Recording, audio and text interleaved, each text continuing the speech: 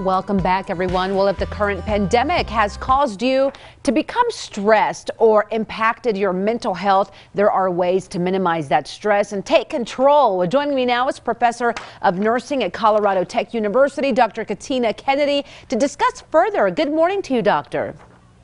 Good morning. I'm glad to be here with you all. Well, we're very happy to have you because COVID 19 has created a lot of stress in a lot of people. How can we reduce that stress? There are a few things we can do. Number one, it's important to understand and know your health status. So, first things first, go get your blood work. Know what, what I call the big three BCB your blood okay. pressure cholesterol, and blood sugar. It's important to know your health status. You have to know what's going on on the inside of your health and on the inside of your body. Also, when you go for that blood work, it's important to check your thyroid level because abnormal thyroid hormone can increase anxiety and stress. And also, you need to know your cortisol levels. That's your stress hormone. When those are elevated, that can definitely cause us not to be able to manage stress. Mm-hmm. Everything you just listed is very, very important. I think I think we all need to know where we are on a health level. Now, I know part of your approach to stress reduction strategy is also physical and lifestyle based. What kinds of things can people do? Yes, it's important to, you know, as far as the lifestyle changes, exercise, get out, be active. Uh, if you're scared to still go out, it's okay. You can be active right in your home. There are a lot of virtual uh, exercise classes that you can partake in.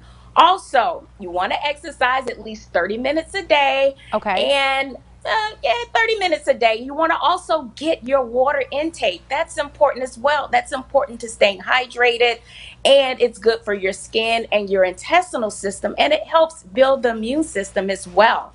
Hydration is key. You want to drink about half your body weight in ounces of water a day. You got it. So I want you to calculate how many pounds you are and divide that by two.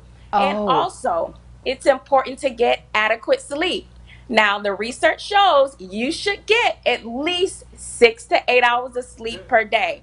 So you have to think to yourself are you getting six to eight hours? If not, it's important that you really make that lifestyle change. Lack of sleep can cause stress not exercising, mm-hmm. um, being mentally not stable can increase stress, increase anxiety, and other things can happen as well if your stress is not managed.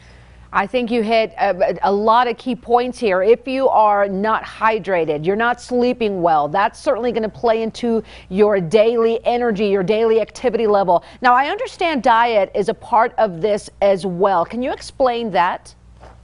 Yes, um, diet is key. You know, we are what we eat. You all have heard that before. So it's important that you stay away from a lot of foods that drains our energy. And remember, we have to eat to refuel and not get full. So always remember that eat to refuel and not get full. So herbal teas are amazing at help managing stress. Your your peppermint teas, your chamomile teas, your hibiscus teas, those all help. Also, your berries, you know, your your berries, they're really good at anti- antioxidants and they help uh-huh. increase the immune system. Your citrus citrus fruits such as your oranges, your lemons, your grapefruits, those are amazing as well as well. And also, remember you have to have a colorful plate.